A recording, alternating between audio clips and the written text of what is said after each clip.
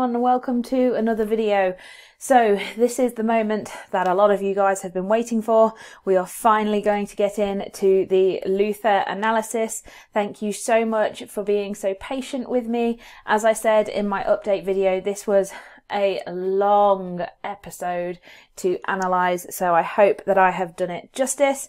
I just want to say a thank you to a few people who have helped me along the way with this. So before we get started, I just want to say a big thank you to Mr. Stevens, who sent me a lot of stuff that helped me with a specific part of this analysis. I hope that I've done it justice for all of you guys and that you find it useful. Before we get into it though, we do have a few shout outs today. So big shout out to Chris, to Sophie, to Tony, and also to Mr. Harold. Better late than never. So let's get into uh, this analysis then. So, season one, episode one, this was the uh, pilot episode of Luther. Now, we don't really have pilot season in the UK in a, the same sort of way that they do in the US, but you could class this episode as the pilot. So, the production and distribution company logo, which is the BBC, is displayed right at the very beginning of the episode. You'll see that it's also as a watermark on all of these clips. That's because I got all of these clips from iPlayer and I'll pop a link to that down below in the uh, description box. This is displayed mostly as a form of recognition and credit. The opening scene initially gives us this establishing shot where we see the um, sort of warehouse. It's full of low key lighting, so lots of darkness, lots of shadows to connote there's a level of danger and crime. There's also a slight low angle here as well, which makes the setting and the building seem quite imposing. This is then contrasted with a high angle where we see our first character who is Henry Madsen. He seems much, much smaller because we're viewing him from this high angle. And it's also implied that he is um, sort of a, a, like a victim or prey by the fact that he is running. We then get this mid shot where we see both the facial expression and the body language of Madsen. This connotes his fear. We get a camera panning around him, signifying that he doesn't know which way to turn, and so we're unaware whether he's victim or villain at this point, although everything is setting up that he is likely to be the victim. Following Madsen, we see this figure who is continuing after him. This places him into the sort of predator and prey trope, so we realise now that he's most likely to be a victim. The figure's not identifiable, but we've got very dark dress codes, which suggests sort of evil. We then have Madsen running towards the camera, so the audience are directly involved in the action. This chase scene is also really important because it builds the tension and enigma of the storyline. We then have further enigma built when we fail to see who's chasing Madsen. So obviously we know from hindsight that this is Luther, but at the moment his identity is kept mysterious because we've got shadows across his face, sort of like building up to this big reveal of who it actually is. So shots of the other figure sort of mirror the same path that Madsen has taken, so we get very similar shots. This suggests that the person chasing him is really skilled and sort of following in his footsteps. And we have a lot of cut shots between this mysterious figure and Madsen as he continues to move up the building. We have this sense of foreshadowing that there's going to be an eventual meeting between the two because we know that Madsen can't keep running. We then get this point of view shot which involves us, okay, so although it's over the shoulder at this point, it does make us feel like we're behind Luther, like we're part of his team right from the start. We then have a change to a completely different location where we get these conventions of crime drama because we see the police cars moving onto the street and it suggests that what's happening is this sort of time sensitive critical case which raises the tension here. So we start the episode off with a bang as it were, really wanting to engage and entice the audience because a pilot's job is to bring in the audience and keep them engaged so that they're likely to have big viewing figures and then the series can continue as a whole. So we get to meet a couple of other characters here. We get to meet DSU uh, Rose Teller. She's played by Saskia Reeves, so she might well be known for other crime dramas that she starred in, such as Waking the Dead. She seems to have a high level of importance because she's right in the centre of the frame and people are looking at her for guidance. We then get another character introduced, DCI Ian Reed, suggests that these characters are going to be of importance not only in this episode but as the ser- of, of the series as a whole because they spend sort of a lot of time with them and their position so importantly. We then go back to Madsen, who seems very, very small compared to the building around him. He's in the center of this high key lighting, so everything else around him very, very dark, full of shadows, but he's placed in the only bit of light that we get, which makes it seem like there's this sort of spotlight on him. He continues to move further up the stairs. His facial expression suggests that he's got a long way to go, but also that he's getting tired. So that suggests to the audience that, again, he can't keep running at this point. We get another over the shoulder shot of Luther as the predator chasing Madsen.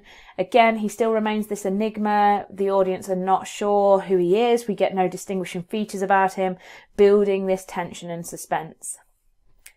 He then, Madsen then stands out against uh, the sort of light in the background. So before we had Madsen in this pool of light where he was sort of illuminated like he was a spotlight. Now he's almost a silhouette. The fact that this is also a long shot signifies that he's moving higher and higher up the building, and so he himself seems smaller, which again suggests that he's going to be more vulnerable.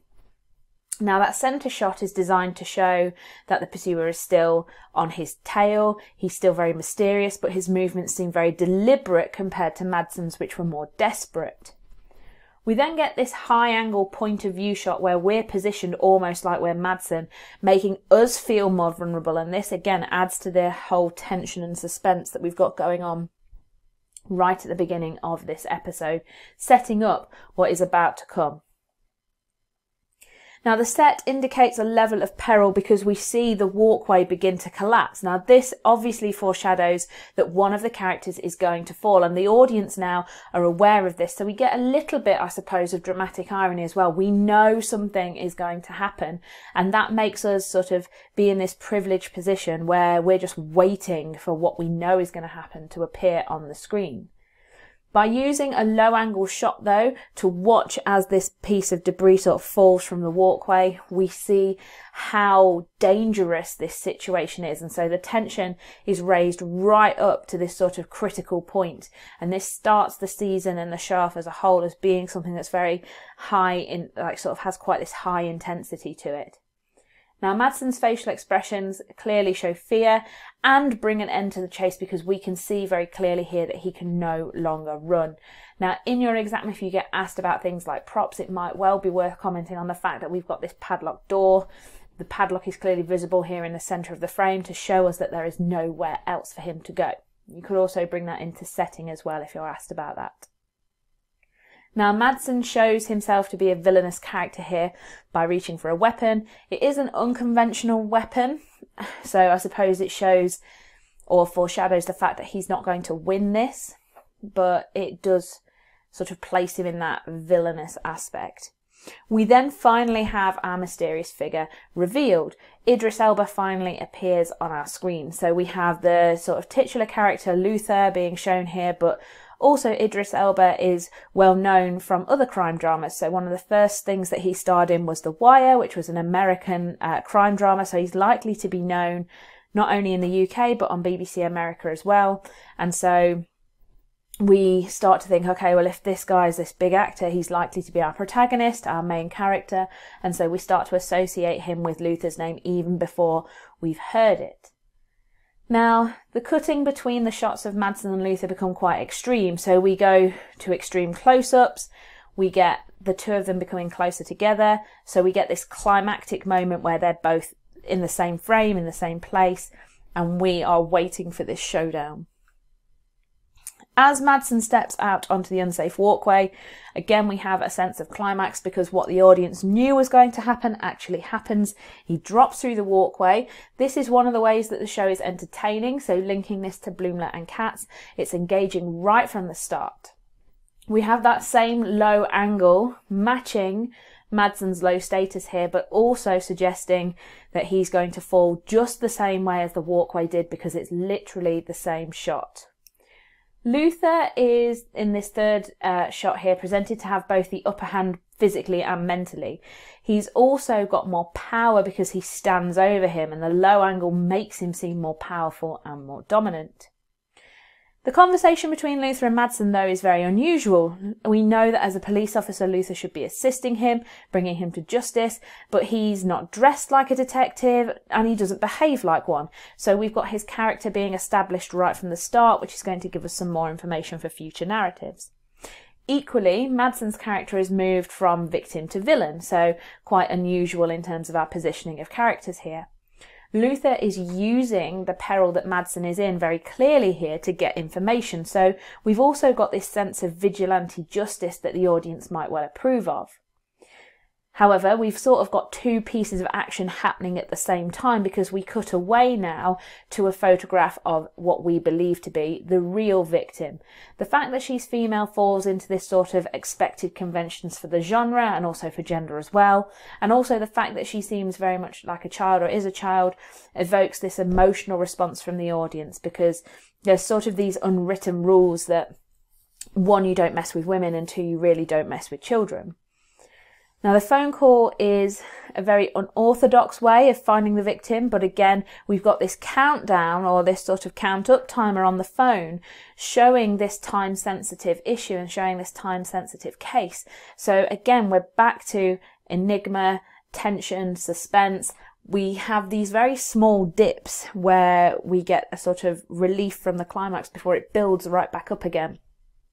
So not only does this engage the audience and leave them wondering if the victim's going to be found, but it also keeps us entertained all the way through. Now there's a significant pause between Teller and Reed, which connotes that the resolution really hinges on Luther, that they're sort of at a loss as to what's going to happen.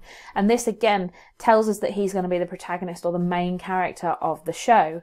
As soon as they get the confirmation, the action moves very quickly. The camera follows the, di- the detectives right into the house, suggesting that again, we're a part of the team because we're put into this point of view where we are almost the camera following them as they go to save this victim. Interestingly though, Madsen's house seems very normal, so in terms of setting here, we can comment on the fact that it's a relatively normal house. This makes the show quite relatable, but also conforms to this convention that there's very little difference between villains and everyday citizens, which is something that we would expect to see in the news where real crime, real life crime is being reported on.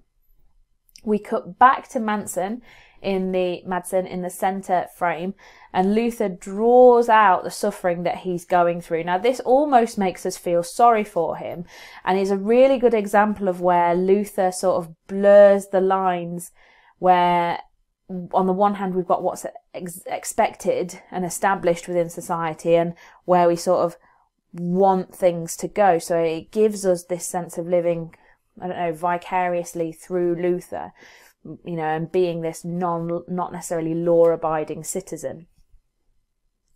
In the final shot that we've got here, Luther shows how emotionally invested he is through his outburst. He almost crosses the line here by threatening to stamp on Madsen's hands, but he doesn't actually do this. So we have this idea of foreshadowing again set up. This is something that we're likely to see from Luther throughout the show. And also sort of indicating that he does have a line that he's not willing to cross. Now, when we find the victim, uh, she's posed as if she's sort of in a coffin, so this reinforces and um, sort of suggests her innocence as well as raising enigma as to whether or not she's going to be alive.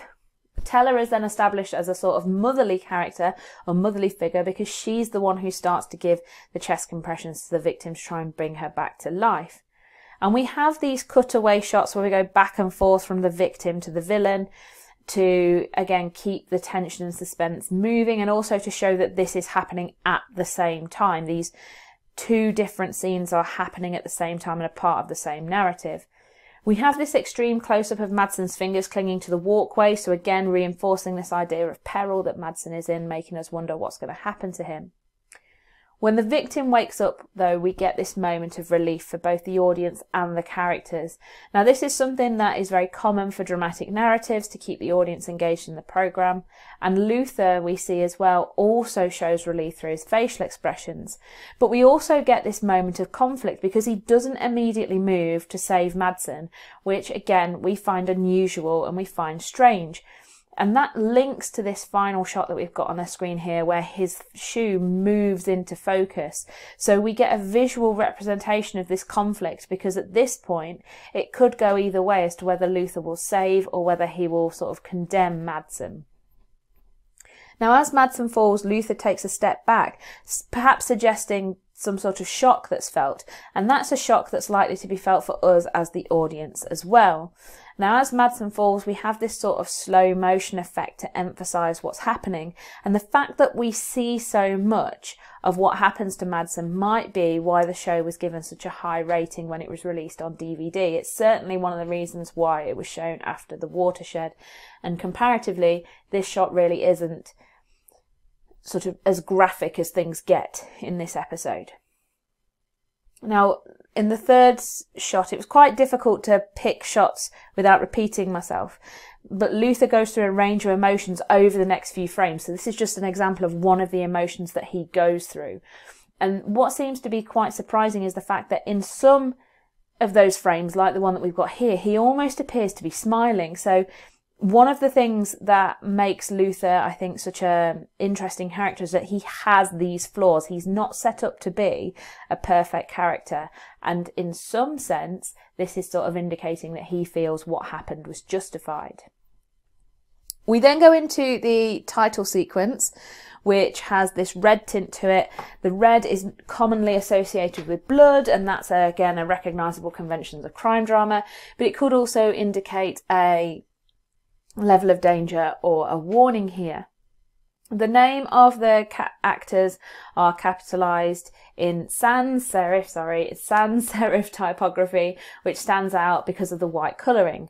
We have Luther's silhouette recognizable against the London landscape, establishing his character and also the setting. And it's also quite interesting that Idris Elba is the first name shown, so we have this link between him as an actor and the title character as well. We then get sort of x-ray like images of teeth. This has a link to forensics, so again another convention of the genre. A further convention is the police tape that we see over the course of the next frame. Now, the second name to appear is Ruth Wilson. She's a very recognisable actress, despite the fact that we haven't seen her yet. So we get another level of interest for the audience. Also, this idea that she's going to be quite important to the show as a whole. Other conventions of crime drama, like the fingerprints, are then shown, sort of mixing in elements of the genre along with the actors and the characters that they're likely to portray. We then have a sort of illuminated map view of the city. This could represent that the action is going to take place here, but it could also, from this angle, sort of represent nerves and this idea of a thought process, because Luther is very much an intellectual character. Now, recognisable London locations such as the Gherkin building can be seen within title sequence, so we get a level of relatability for the audience which is in contrast to the fingers that are sort of reminiscent of a victim, again indicating a level of sort of recognized conventions for the narrative and also the crime drama genre. The eye that we see here though has no distinguishing features. It does seem to have a brighter sort of tint of red to it, which could imply that this is a victim of some sort, particularly when you compare this to the extreme close-up of Luther's eyes, which in this instance reveal very little emotion and appear to be looking at something just outside of the frame rather than the audience. So this is sort of that in-between direct and indirect mode of address. We have a bullet hole, which is another convention of the genre. It's also indicative of other title sequences, such as uh, CSI, which are obviously American crime dramas. And then we get these sort of coloured drops that sort of spread through the title sequence, a bit like ink. These could be representative of blood, given that they reveal Luther's silhouette. They also could potentially link him with crimes, um, but not in a detective crime sort of way, which will hopefully become more apparent later on. There was, a, quite a difficult way of explaining that one.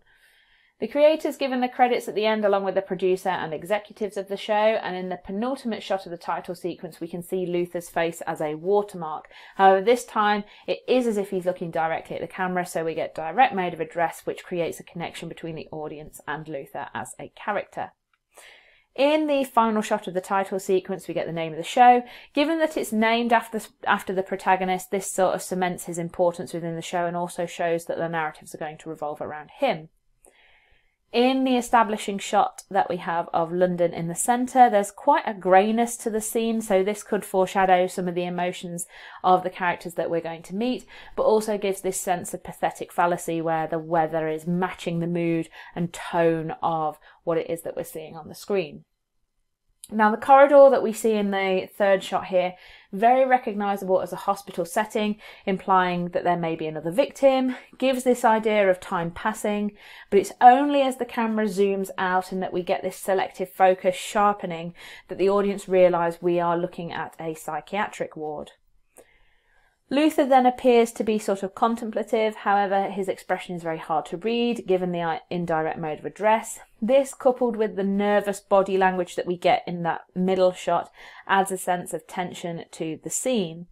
In the wide shot, we can then see that Luther is in fact the patient. Now, this subverts the stereotypes of police and detectives and subverts what we would expect. It, this is one way in which Luther is sort of set apart from the crime dramas of the time. Now, DCI Reed shows a sense of concern in this close-up that we get here. It gives a level of direct mode of address to again create a connection with the audience and he is going to be important for the series as a whole. I'm not going to say too much more because I don't want to give any spoilers away. You will just have to watch the show if you want to know about it, I guess. And this is reinforced by his hand on Luther's shoulder. It's quite awkward though because Luther appears a bit vacant and this is unlike the way that we have seen him previously. But when we have the cut to the third shot at the end here, this gives us a sort of sense of knowledge and understanding about what's happened in the time between the last frame of the opening sequence and now. Now, in the hospital corridor, again, it sort of mimics the one that Luther was in earlier, but we've got a police guard that's on sort of scene guard here, which adds to that level of seriousness. And the hospital setting is then contrasted with this shot of a upper class rural household that we can see here within the woods. Now the images on the mantelpiece again provide this element of relatability with the audience, so again linking it to Blumler and Katz, so we can identify with the program a lot more, but it also reveals Ruth Wilson's character because the image that we've got of her on the mantelpiece is very, very recognisable. As the camera moves through the house slowly, it allows the audience to digest the scene in much the same way as a police detective would.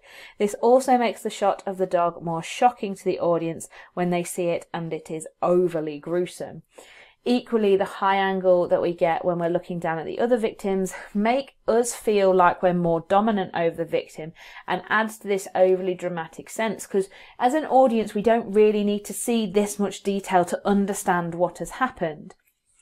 Wilson's character, when we finally meet her, seems very small and vulnerable due to the position of her hiding behind the chair. At this point, the blood on her hands makes her seem like she's reacted to the scene, but it could suggest that she's had a hand in what happened. And when we get further into this episode, we realise that that is in fact the case. Other items that we see on the desk, such as the iPod, anchor the show to the time it was produced, as well as emphasising that the victims were very wealthy. And when we meet Alice again, she seems very much like she's in shock. She is more composed than previously seen, so this sets up her character not only as a victim, but as somebody who's very good at sort of compartmentalising their feelings, and we'll come on to that a little bit more as we get into this episode. Now, the cut to Luther is quite jarring because it's unexpected, but it links him with the crime scene that's happened with Alice already. Now, the fact that he's looking down from the walkway where Madsen fell is unusual. It could suggest that he feels a sense of guilt. Teller then seems quite nervous as she enters, but she does seem more dominant than Luther because she's standing over him. So this subverts what we expect, be, because we've seen um, sort of Luther and Madsen on that walkway previously, but it also subverts what we would expect because Teller is a woman with him with quite a bit of power here. Now, in the middle shot, the two of them seem almost equal. We also get to see Luther's dress codes, which again suggest this level of informality because he appears quite scruffy. They make him seem less of a hero, given that they're dark in colour, even though we would expect Luther as the protagonist to fall into the hero role in Propp's character theory. We then get an over the shoulder shot, making us again feel like we are part of the team before we're being introduced to DCI Justin Ripley, who's played by Warren Brown. He's viewed through a slight high angle, so it makes him seem much smaller compared to Luther, who again seems more dominant. But in the centre shot, we see them as equal, so this is likely to suggest that Ripley is going to be the helper to Luther's hero, and in that sense, Teller then becomes this dispatcher. Again, by viewing the action through an over the shoulder shot as they're getting into the car, it makes us feel like we are a part of it. We can almost imagine ourselves sitting in the back of the car being a part of the team. So we're very much engaged within the show and it's likely to make us more active audiences. As the car moves out of the scene, it could suggest that Luther is starting something new, a little bit like a new narrative or a new storyline, and is moving away from his past with Madsen. Interestingly, in that centre shot that we've got here, the movement between Ripley and Luther is in sync, showing that they already have a close bond and close connection, and they're likely to maintain this throughout the series. When we move to the third shot, we get this yellow cone, which is a convention of crime dramas, but again, it's unnecessarily shocking, which might link it to the 15 that the BBFC rating gave it when the show was produced as DVD. Now, Luther in Alice's home already seems to sort of cover the frame, which makes him seem more dominant. And again, we have such a slight low angle here, um, which again adds to his dominance and could suggest that he's got a certain level of command over the scene. However, in the next shot, we get a high angle. Now, this makes it seem like the case might not be as easy as expected, given that the crime scene suddenly seems larger and more imposing. What's quite interesting, again, in terms of Luther's character, is that when he meets one of the victims, he's sort of positioned next to her and on a similar level, suggesting that there's an emotional and person connection that personal connection that he has with his job. Whereas Ripley seems removed and more impartial because he is removed. Evidence of Alice's character and influence can then be seen through the academic awards on the wall, suggesting her intelligence. This is going to be important later on, so provides a level of foreshadowing, even if the audience don't realise it yet. Now, another recognisable location for crime dramas is the police station. This seems quite mundane and old, but because it's viewed through a slight low angle, it could suggest the power that the police wield. This is in contrast to Zoe's building, who is the new character that we're introduced to in that third shot the transparency suggests that it's a sort of high class, so we have her at odds with Luther right away because they don't seem like they're particularly well matched. Luther, though, seems much happier when he's talking to her, indicating that he is actually quite an emotional p- person, and so we get more information about his character here. This makes him seem more realistic, but also gives us an indication to the flaws within his character, which we can imagine are going to pop up later in the series or perhaps the show. Now, the fact that Luther has to type in a code into the door suggests high security, but it makes us as an audience feel like we're being let in on a, sort of exclusive secret. So it makes us feel like we're getting something that we wouldn't get from another show. The office, though, seems very stereotypical with different desks and colleagues around. As they welcome Luther back, the audience might relate this to their own lives, as the office at this point could represent any sort of setting. However, the mug that they give him appears to be in quite bad taste, particularly given that Luther has just returned from a psychiatric ward. This does provide comic relief for the audience, though. We can't have that high tension staying the same all the way through the show, particularly for one that's as long as Luther, because we turn off. As an audience, we can only handle a certain amount. So the comic relief here is likely to, one, be recognised by demographics who work in the emergency services as perhaps a necessary part of their job, but as also a sort of moment of peace within the show for the audience where we can sort of gather our thoughts before the tension and the pace increases again. Now, the view of Alice in the middle shot sets her up as villainous through her positioning. Her hands are on the desk, implying a sort of sense of needing to see it, all of her movements. But the blue boiler suit also makes her seem like she's somebody who's protesting her innocence.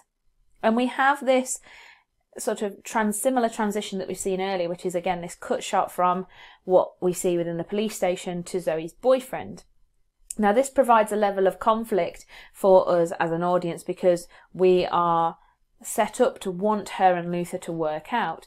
It does give us some indication of the subplot, but it also gives us as an audience a sense of power because now we have dramatic irony. We know that she has arranged to meet Luther, but we also know that she has a boyfriend which she hasn't told him about, so we're in quite the position of power at the moment.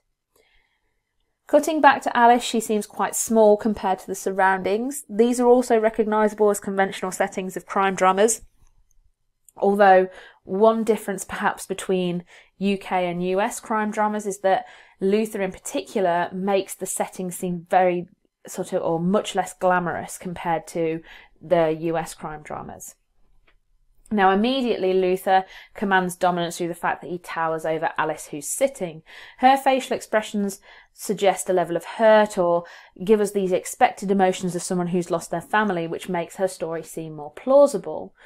But Luther's need to understand and work things out can be seen when he starts to question Alice, and together we realise that something isn't quite right.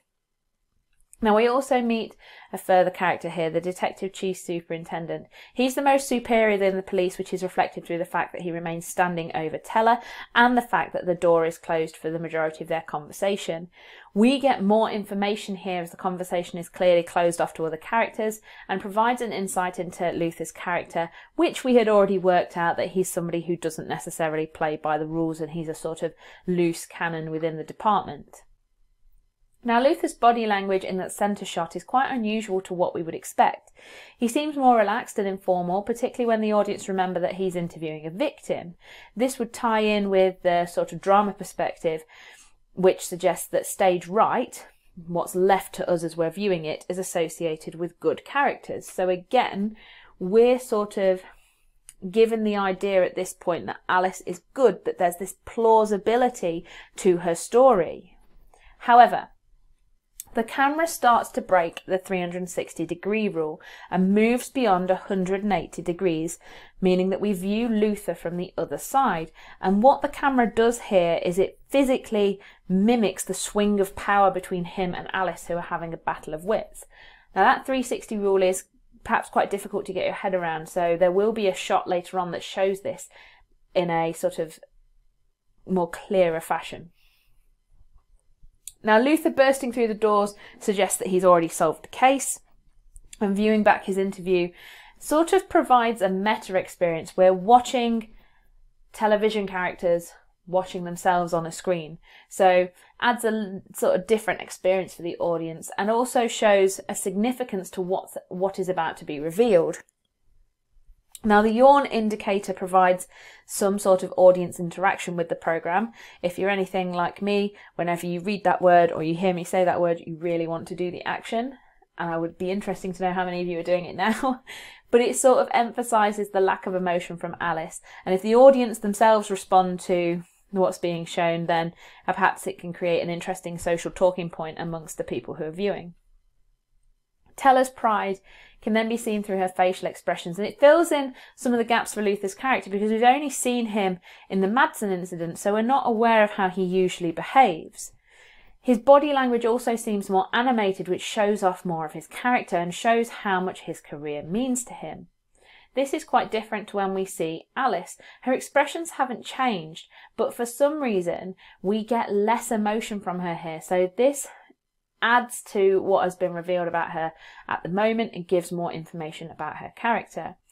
We get an extreme close up on that cup of tea to reveal that she removes her fingers from it just a fraction too late, and this reinforces the idea that she has no emotions and feels no emotions, which is again reflected through many of the shots that we have here where she seems more animated, particularly when she realizes that she's met her match against Luther. So the extreme close up indicates she's no longer upset, and this subverts what we would expect to see of a victim.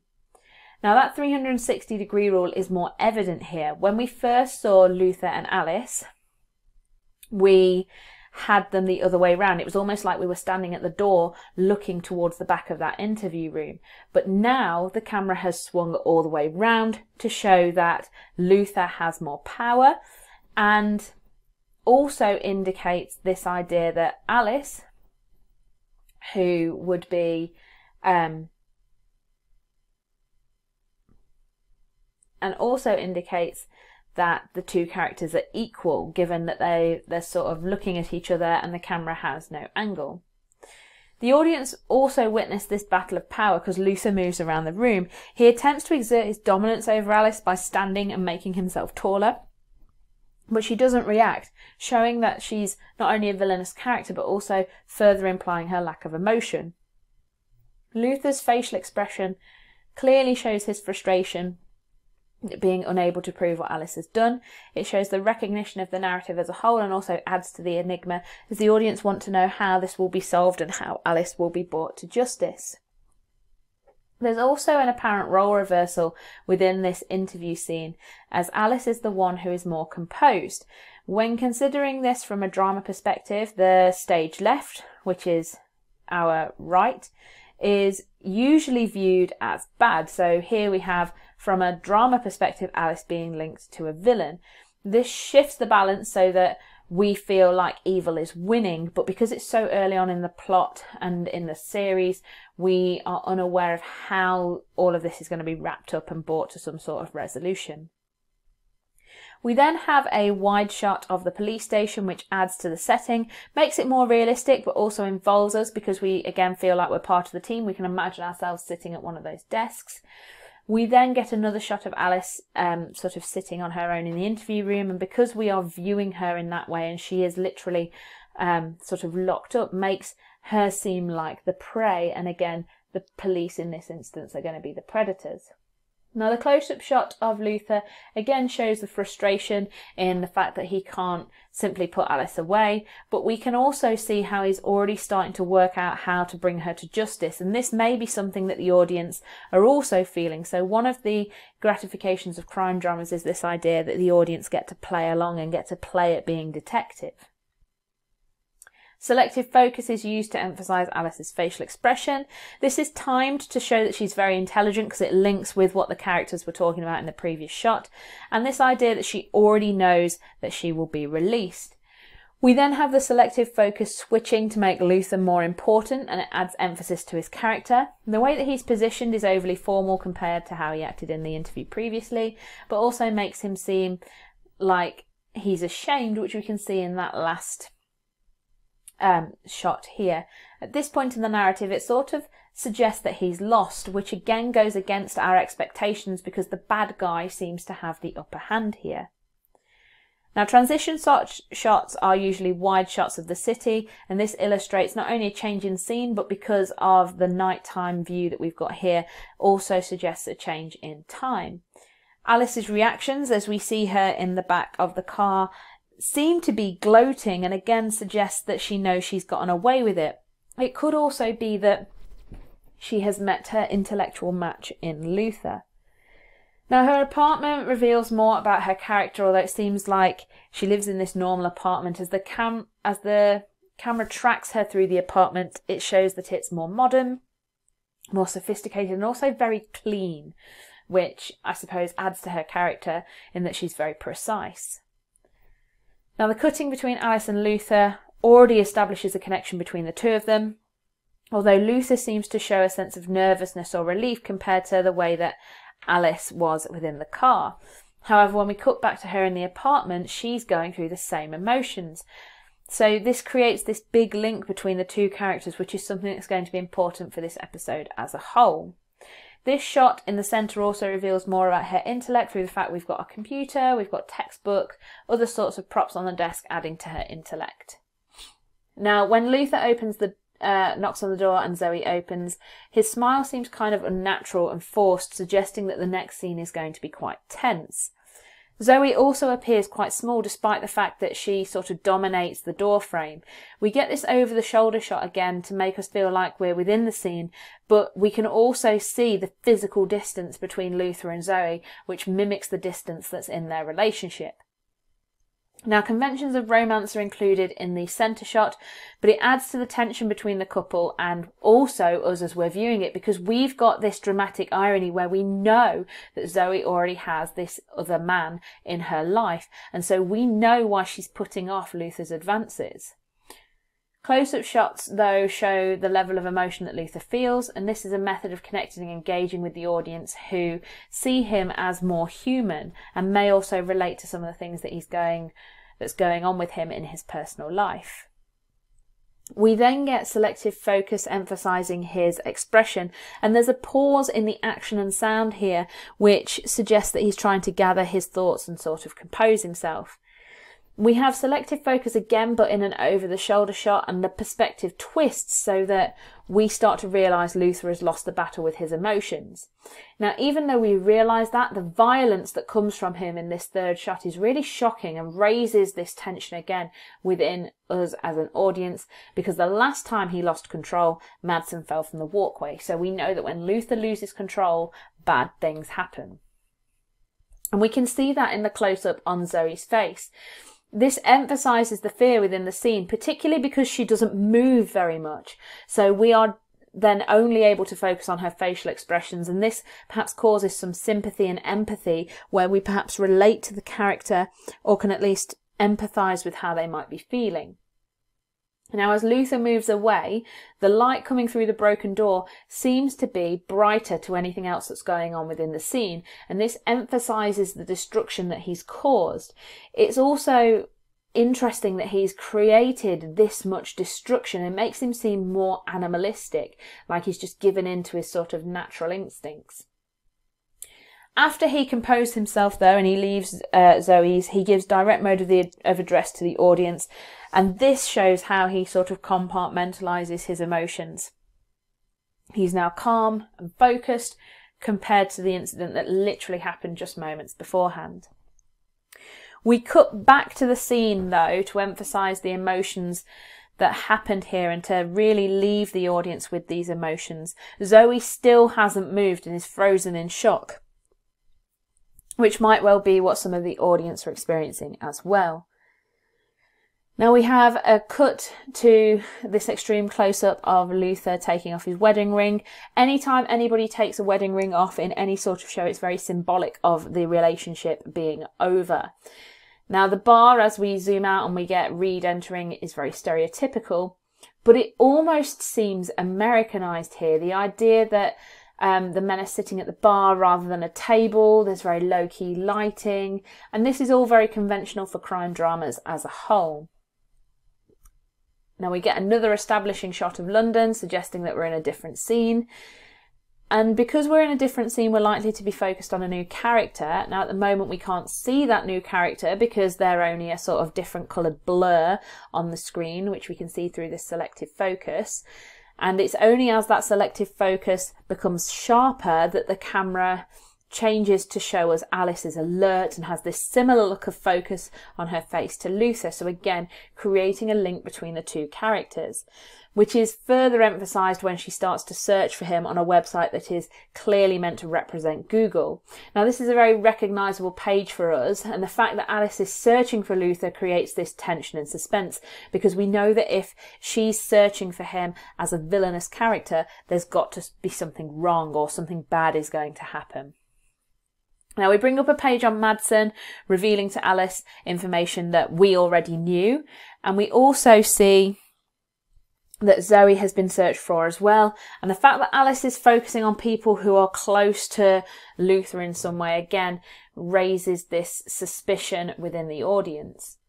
Now, interestingly, we have a cut to a crematorium here. Now, combining this shot with the two that we've just seen of Madsen and Zoe, uh, creates a connection between all three. And the suggestion is that Zoe and Madsen are not safe. The dog was in the house when Alice um, sort of murdered her entire family. So we can imagine that a similar sort of fate is going to befall the other two characters. Again, the cremation of the dog is really graphic and shocking to the audience who may well have pets of their own. But even if the audience don't realise it right now, retrospectively, this also gives us this idea of criminals burning the evidence of their crimes, which is what Alice is effectively doing here. We then move to a wide shot showing Luther and Reed. It's clear that Reed is closer to the foreground, which places him in the position of sort of helper or sidekick to Luther. And it's again another common convention of crime dramas. But the way that they're moving is almost uh, a sort of replica of the way that Luther and Ripley moved earlier in the scene we cut back to an establishing shot and this establishing shot we saw right at the beginning of the show and we're going to see later on as well illustrating a change of time and a new scene Interestingly, that same shot is always associated in some way with Alice, who we see here.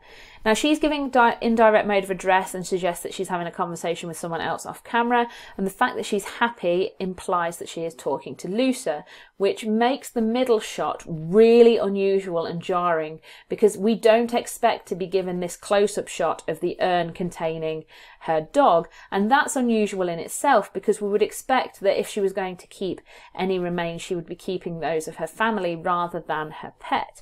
So this creates a sense of enigma because we wonder why she's doing this, as well as setting up that this particular prop is going to be important for later on in the show. Now, the long shot emphasises how small Luther and Alice are, which makes them seem insignificant, but what is important is that their body language suggests that they have a closeness. This again subverts what's expected. We know that police and we know that detectives are not meant to be getting this close to potential villains or victims. Further subversion comes when we see Luther inside Alice's apartment. So we know now that he's definitely crossed the line and is this sort of character who really doesn't play by the book. And this is a further convention of crime dramas, particularly ones that focus on a individual character.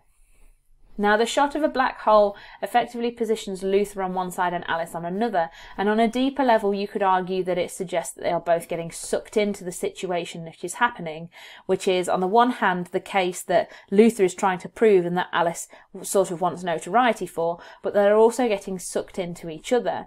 And this is further illustrated by that third frame that we've got here, where after a lengthy conversation, Luther and Alice are positioned in place that is very similar to conventional characters who are in a romance. This raises the suspense and enigma because we want to know if they're going to become a couple.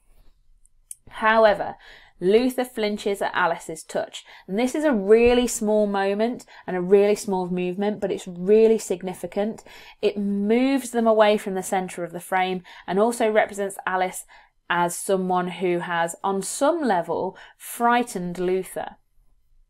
There are lots of interesting shots in this show as a whole, and one of them I think is the shot that we get here, which is filmed through the window, because it makes, again, it makes us feel like we're getting some sort of exclusive content. We're literally watching something that is happening behind closed doors. But we're left with Luther leaving, and the setting that we see as Luther leaves is fairly significant to what's going to happen later on. Um, but again, I didn't want to repeat myself given that this presentation is like 72 slides long as it is. What we're left with though is Alice holding a hairpin. Now the movement of the hairpin is very seductive, so it sets her up as this sort of femme fatale character. The dramatic camera movement that we get behind Luther tracks him and again is very representative of the way that he moved when he was pursuing Madsen.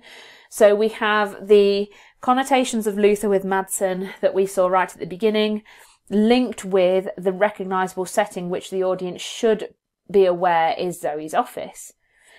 Zoe, when we see her, is off centre within the frame, which emphasises the row of legal books behind her, and this makes her seem more powerful even if she is surprised and even if she's sitting down here. And this is reinforced in that third shot where we are behind Zoe, almost as if we've got her back. And this makes her seem quite dominant. So we get juxtaposition here because the previous representation of Zoe is someone who, very stereotypically, like a lot of women in crime dramas, sort of needs rescuing. The way they're sitting also makes Luther seem like he's being interrogated, so we've got further juxtaposition for his character because we wouldn't expect a police officer or detective to be interrogated. Now, the security guards behind the door again provide an element of comic relief given how little power they have despite their status. And similar to an earlier shot with Ripley, Luther shows his warrant card and credentials. So it's clear that he relies on this prop to get him out of situations or to sort of justify his actions.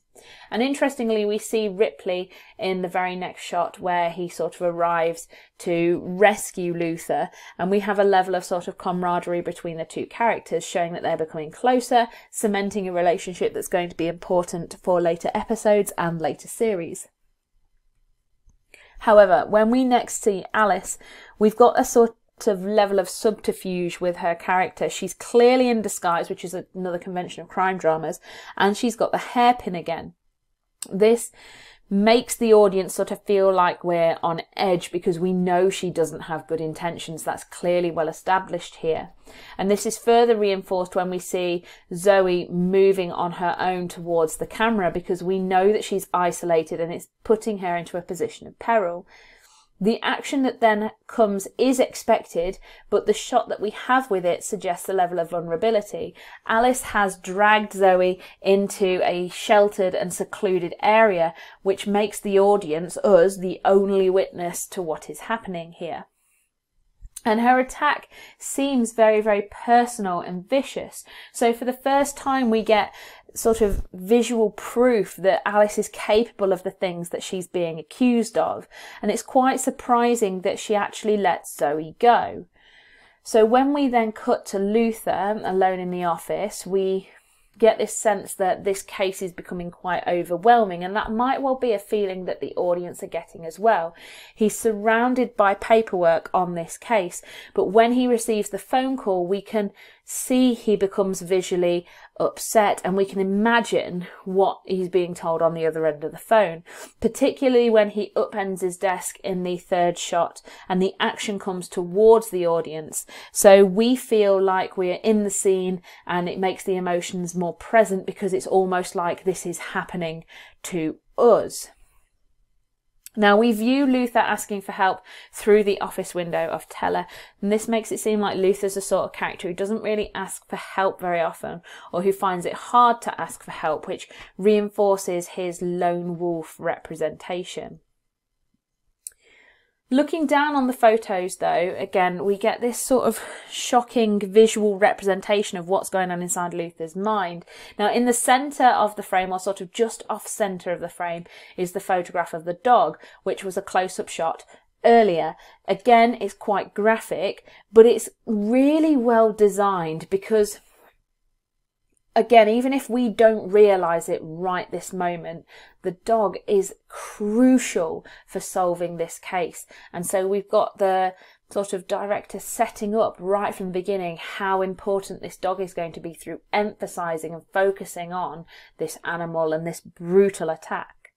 Now, when Reed gives Luther the gun in the third scene and in the third shot that we've got here, the positioning is important because the gun is pointing directly towards one of the victims in the photograph, and so we sort of get this visual representation of how Alice committed the crime. When we see Luther rummaging through the boxes, what he's actually rummaging through are evidence bags. So again, provides detail to his character as someone who only cares about proving the case and proving justice rather than following the rules. And it's as he's explaining the case to Teller that the audience start to realize what has happened because it's almost like he's explaining it to us.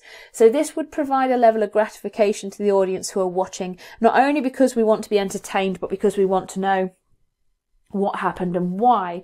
But if anybody has been playing along with Luther and has tried to be this sort of pseudo detective, if they've got this right, then it provides them with another level of gratification. Now, aside from being really proud of myself for managing to pick this shot in the, th- in the third frame here, um, Luther seems really reckless when he's setting the gun on fire within Teller's office.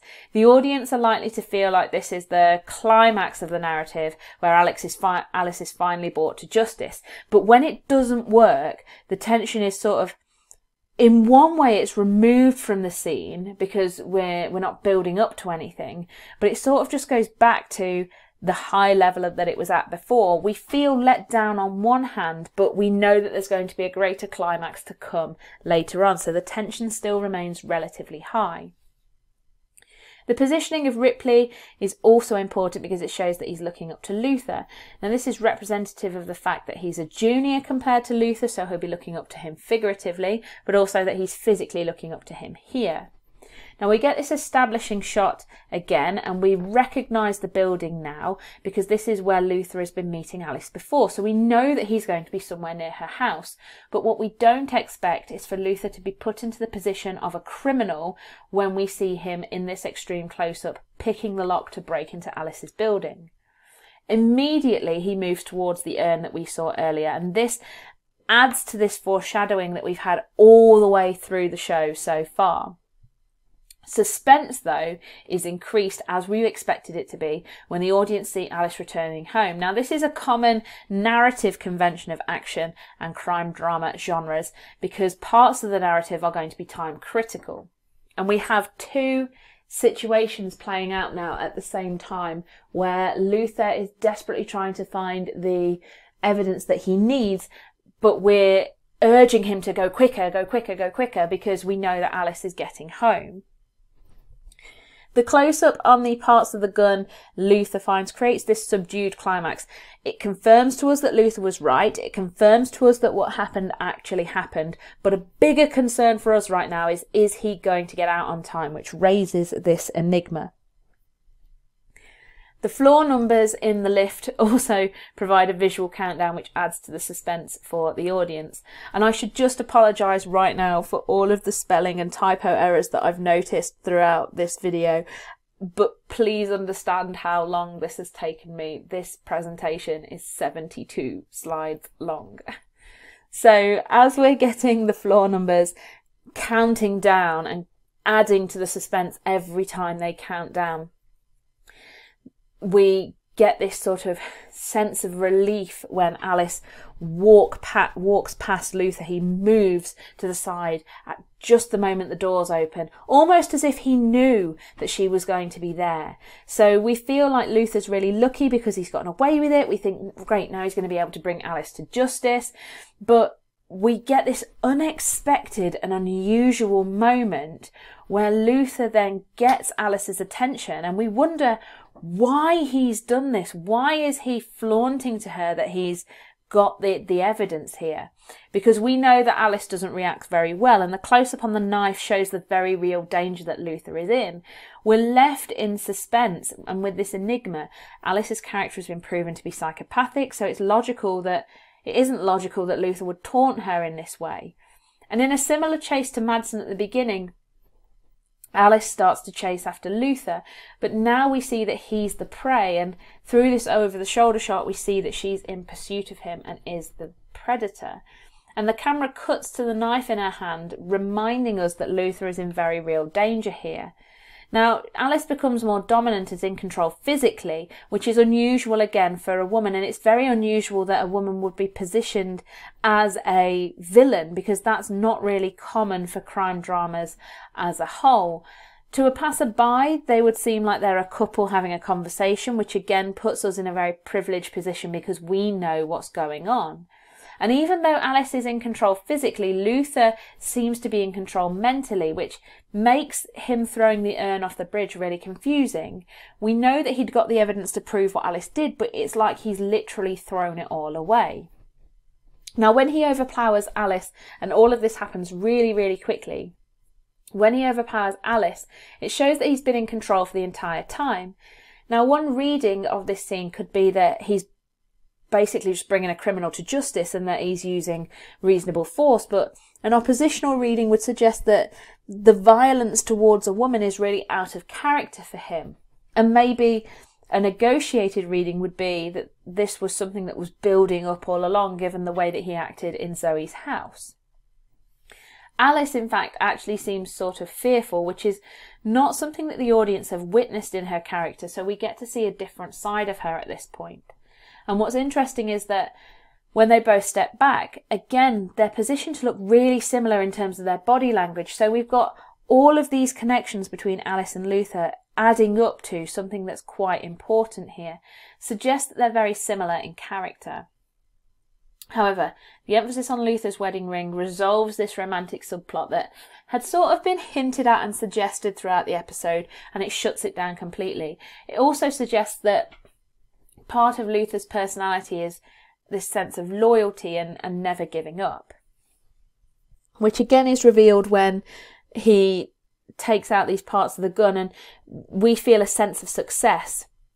It shows that his intelligence and his intellect has prevailed because he got the forethought to keep them and can sort of control them before throwing the urn away, which goes against expectations when he literally throws them on the floor. And this is eventually how he beats Alice. So in a sense, we get a sort of subdued climax or we, we get a sort of letdown climax because Luther has effectively solved this case by taking away all of the attention that Alice wanted. And by doing that, not only has he solved what happened, but he's put an end to her chasing him over it. Now we cut to a different scene where we see the reflection in the window of Ripley's car, and it should give us some indication of where uh, Luther is at this point, particularly given the emphasis on his wedding ring, where we can understand that he has been to Zoe's house and that Ripley has been, in effect, guarding Zoe. Now, Zoe and Mark are together and they seem really rattled and nervous. This raises suspense and enigma for the audience because we want to know how Luther will react to the fact that Mark is there. Now, when the two men are together, they're positioned in a way that sort of implies a standoff between the two of them. There is again this other pause in action, similar to the one that Luther and Zoe experienced earlier in the episode, which tells us that this is going to be kind of a fiery end to the episode. Now, given Luther's aggression last time he was here, it seems unusual that Mark is the one who then starts the fight. And this provides a level of conflict and also a social talking point as to whether Luther deserved this response that he's getting here. Again, common convention and prop. I suppose you could argue that it's a prop of the police cars are appropriate for the genre, but the fact that either side of Luther suggests that the law has closed in on him and that he cannot escape. And the police manhandling him in that centre frame provides a sense of juxtaposition because they're sort of fighting against one of their own, whichever way you read into this.